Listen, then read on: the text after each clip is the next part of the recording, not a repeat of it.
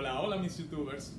Hoy vamos a hablar acerca de los hipostomus o plecostomus o simplemente pleco.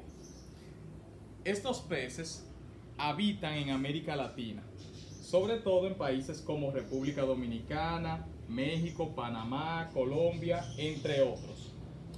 Este es un pez que en libertad puede alcanzar los 70 centímetros, pero en acuario no suele pasar de los 30 centímetros, llegando a vivir aproximadamente 15 años.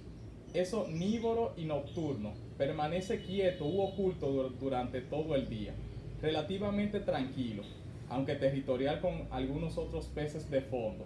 Por la noche sale de su escondite para comer, a diferencia de otros peces.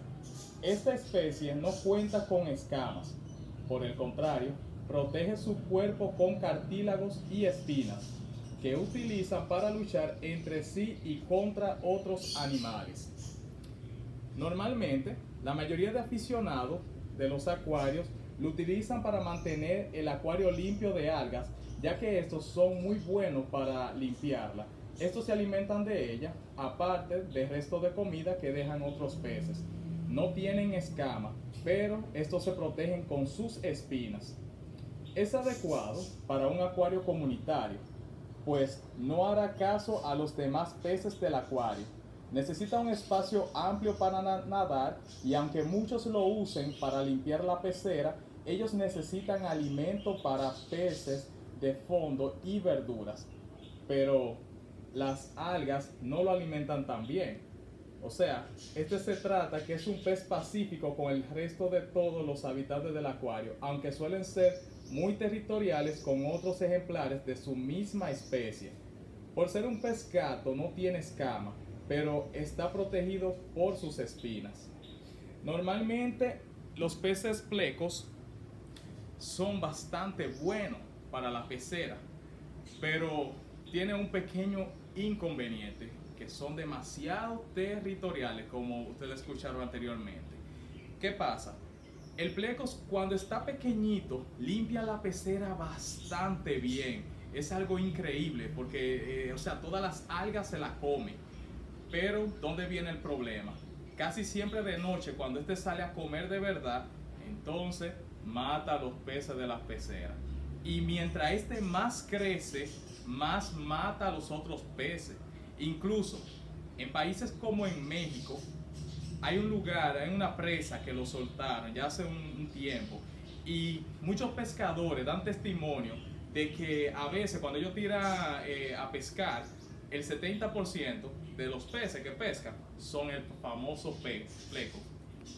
Allá en México normalmente lo conocen como pez diablo y tienen toda la razón de que es un pez diablo, ya que este pez ataca a los demás peces.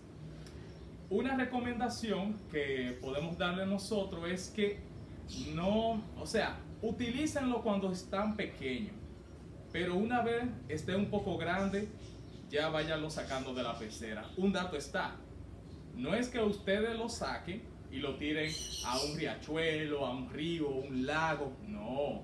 Tienen que buscarle un lugar adecuado como un estanque que hayan peces que este no pueda matar o lugares así. ¿Por qué? Porque si este pez lo tiran en un río o una presa donde sea que hayan otros peces, este va a destruir ese hábitat, ya que este es un pez bastante duro, como pudieron escuchar, tiene espinas y con ellas se protege.